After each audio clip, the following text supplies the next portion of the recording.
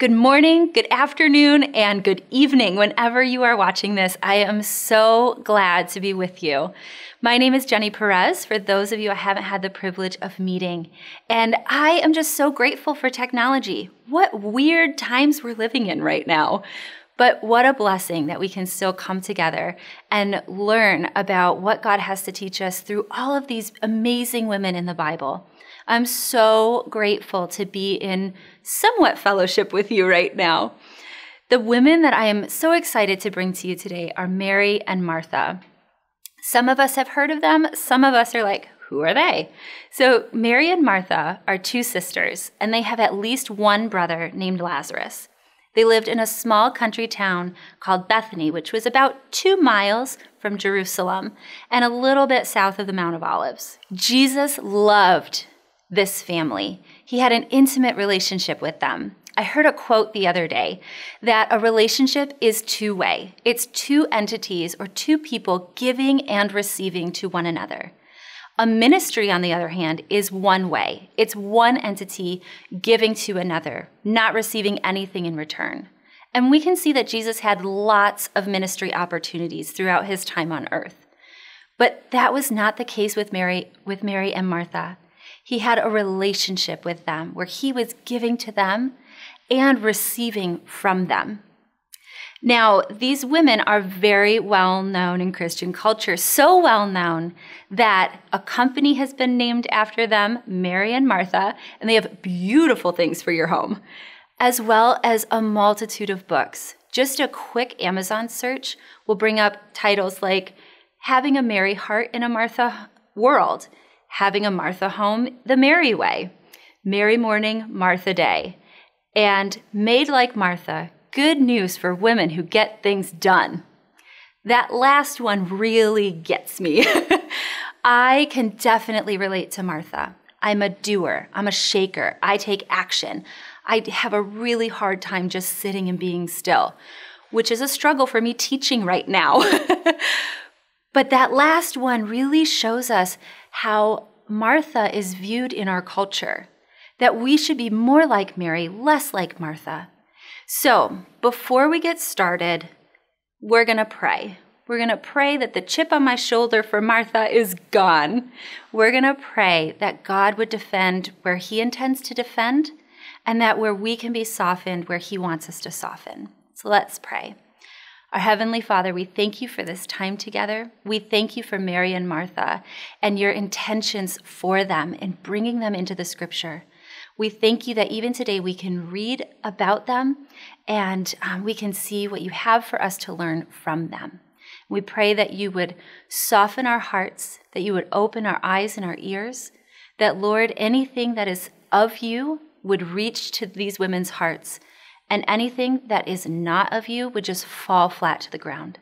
We pray that you would be glorified in Jesus' name. Amen. So today, I want to look at three places where we see Mary and Martha in particular. The first place is Luke chapter 10, verses 38 through 42. Just a recap of this situation. This is kind of the typical, if someone's going to say Mary and Martha, this is what most people are going to think. It's the Mary and Martha story where we see that Jesus comes to Martha's home and he's welcomed in, and Martha is busy. She's getting everything ready, food prepared, refills done, making sure everyone is comfortable. And we see Mary sitting at Jesus' feet. And Martha is not okay with this. And she comes to Jesus and she says, Jesus, can you not see my sister? She's just sitting there. Make her come and help me.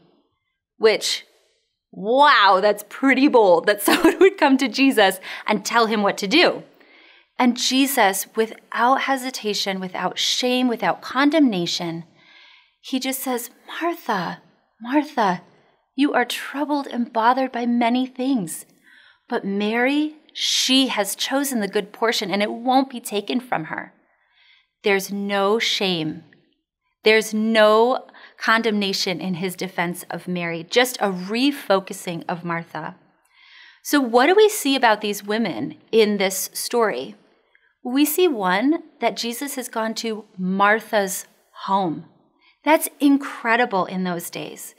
Nowadays, it seems like no big deal. I'm going to go to Robin's house. I'm going to go to Samantha's house. I'm going to go to Veronica's house. It's not anything surprising that we would claim the woman's name we're going to see. But when you say in the Bible times, Martha's home, it indicates that Martha is the head of the household. This could indicate that she's a widow. It could indicate something entirely different. We're not exactly sure, but it is something to take note of. Also, she is fearless. She and her sister are welcoming a man who is being chased out of towns. He has death threats made to him. He is a total rebel as far as the Jewish population sees, and yet they're welcoming him into their home, making him comfortable. We also see that she's a good steward of her resources. Not only is she able to welcome Jesus, one person, she is able to welcome all of his disciples and probably quite a few people from town as well, and still accommodate them to make them feel welcomed in her home. And she has such respect for the Lord. Her desire to serve him, to make him comfortable, to make this gathering something wonderful where he can focus on his teaching without having to worry about earthly needs is very clear. Then she gets a little bit stuck. Her desire to care for Jesus becomes distraction when all of a sudden she takes her eyes off of what she's do- doing to honor and worship Christ and she's looking at Mary. Maybe she was blinded by how unfair it seemed that Mary could just sit there while she had to do all of this work. Maybe they had an agreement that they were going to do this together, and now Mary's broken her agreement. We're not exactly sure. But what we do know is that Martha stopped appreciating being able to care for Jesus. Her good intentions became something that took her away from the good. Then we look at Mary. What do we see from Mary in this story? We see her sitting at Jesus' feet. Her entire body language says, I am here with you. My intentions are to listen to you, to glean wisdom from you to just sit in your presence because I know that that is my main priority. Her heart is resolute. There is no question of what her intentions are or what her desires are. And so we can often do a team Mary in this situation. For sure, she has chosen the good portion. And Jesus even says this. She is honored and exalted when Martha publicly embarrasses her in front of everybody who is listening. Jesus exalts her and says, No, no, this is what is good and right, is to sit and be still with me. So then we move into John chapter 11, verses 1 through 32. And a recap of this situation this is where Mary and Martha send word to Jesus because their brother is on his deathbed. He's about to die. And remember, Jesus has a beautiful relationship with them, he cares for them. And so they send word to him to let him know that his beloved friend is very sick and needs him to come. But Jesus doesn't come right away, which can be really confusing because you would think, wow, this amazing friend is dying, and these sisters who he loves are asking him to come and be with them, if not for his miraculous powers of healing, maybe just to comfort them as a friend. But Jesus decides to stay for two days beyond the Jordan. By the time Jesus is coming to them, Lazarus has been in the tomb for four days. That is the day that it took the messenger to travel to Jesus, the two days that he stayed in place, and the one day that it took to travel back. That would be so confusing as Mary and Martha. Where was he? What was he doing? His disciples were clued in, and we get clued in that Jesus was doing it for their benefit, that they would believe. If Lazarus had been sick and Jesus healed him as a sick man, it'd be like, wow, cool, yeah, we've seen that before. But as a dead man, wow, does that show the power Christ has over death? And so he stayed. Now, when they hear that Jesus is close to town, he's on his way, he's just at the edge of the city, Mary chooses to stay and weep and continue mourning. Martha, she jumps up and she runs to meet Jesus. When she gets there, in her scriptures, what it says, she wastes no time in letting him know, Lord, if you had been here, my brother would not have died.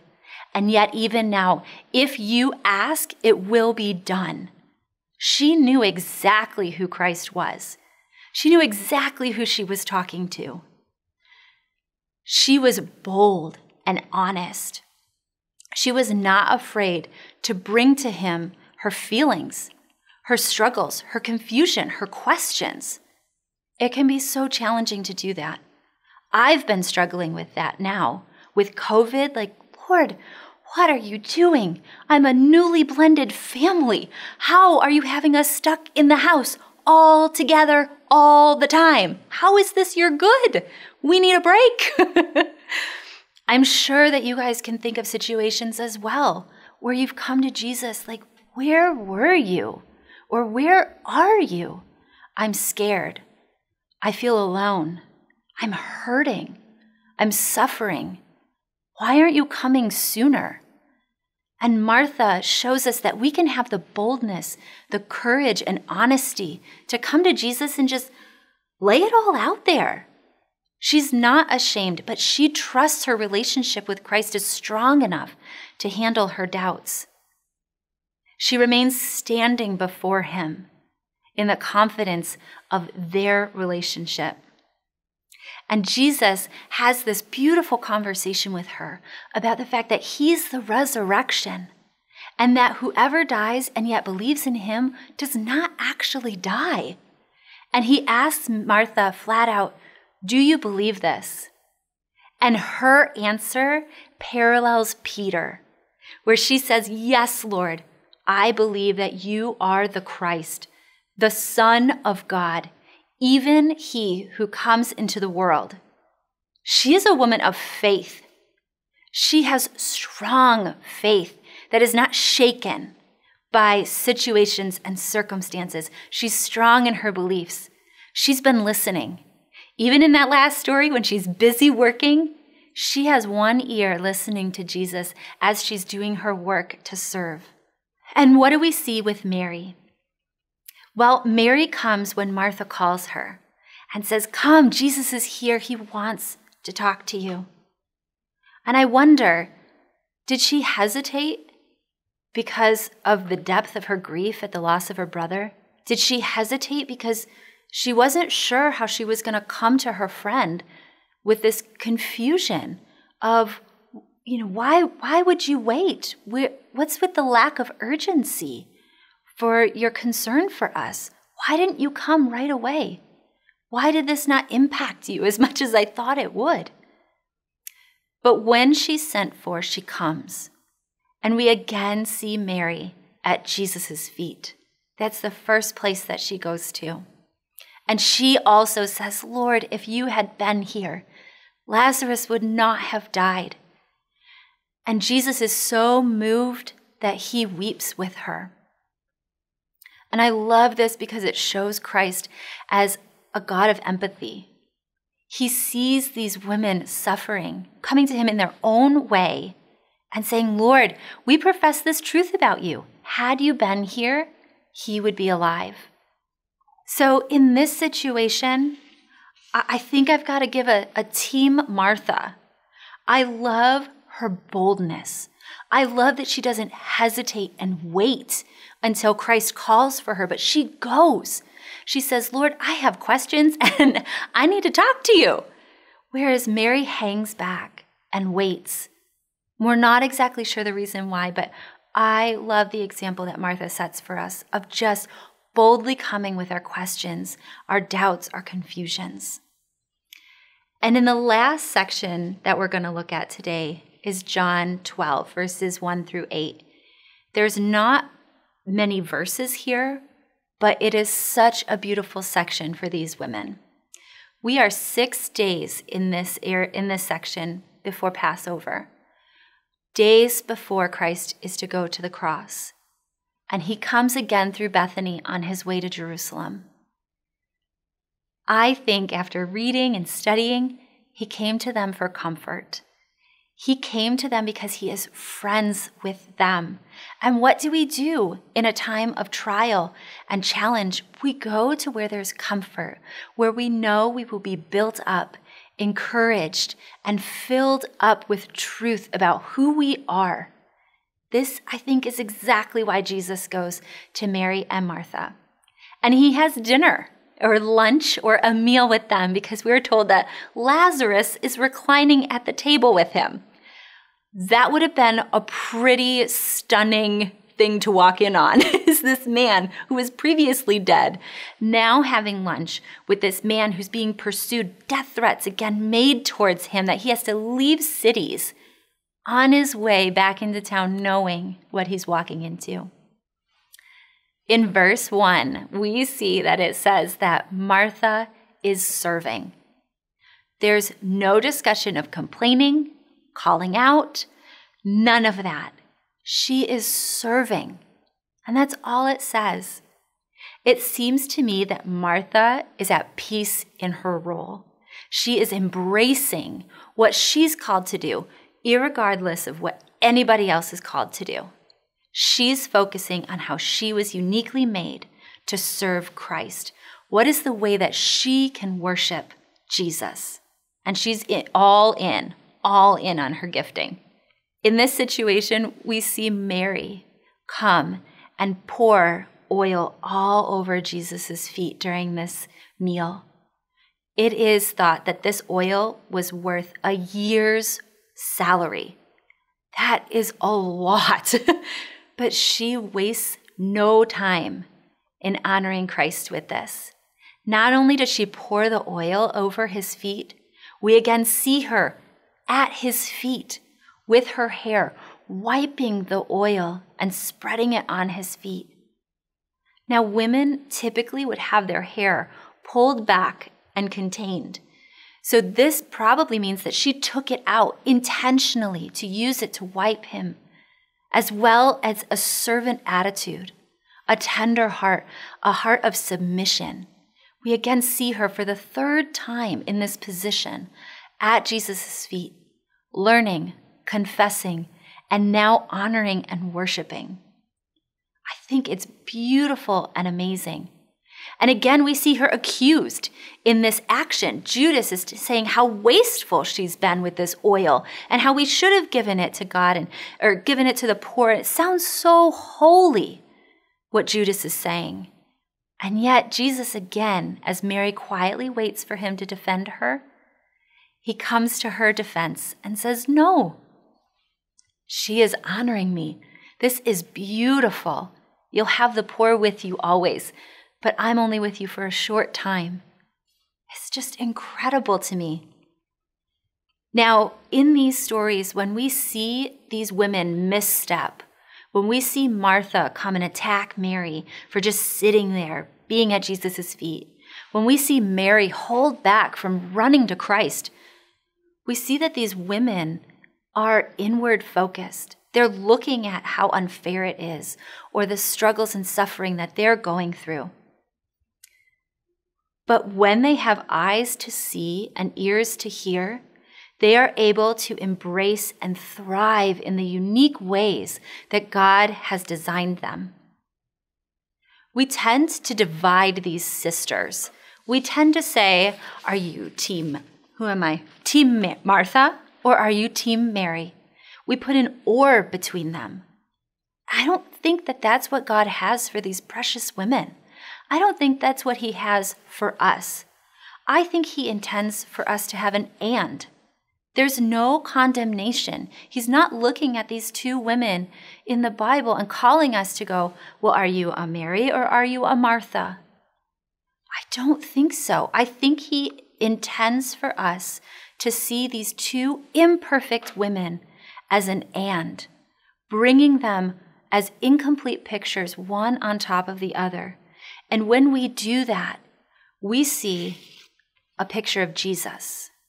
We see Jesus in Mary's responsiveness, her thoughtfulness, her submission, her tenderheartedness, her relational aspects, her empathy, her emotions, and how she feels. We see Jesus in Martha's boldness, her call to responsibility, her confidence, her passion, her servant heart. She's a caretaker and she's practical. She cares about the worldly things, which Jesus tells us flat out to cast all our anxieties on him because he cares for us. When we stop putting an or between these sisters and start putting an and, we see a beautiful picture of Christ. We're not called to emulate a person. We're not called to be Mary or Martha.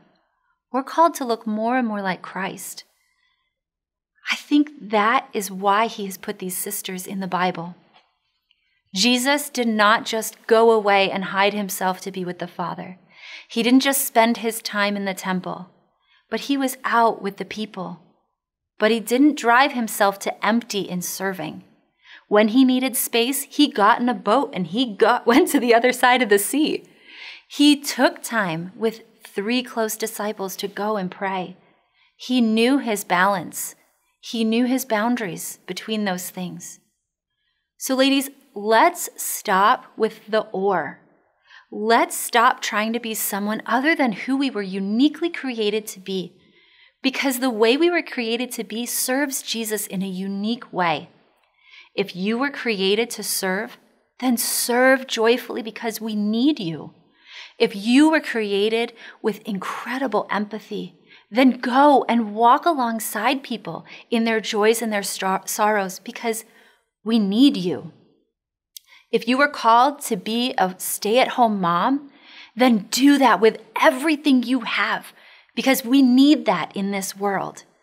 And if you were called to be a full time working mom, do that because that is incredibly important and we need you in this world.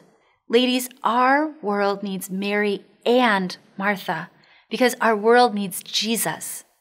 Let's put off looking to the left and to the right to see what everybody else is doing.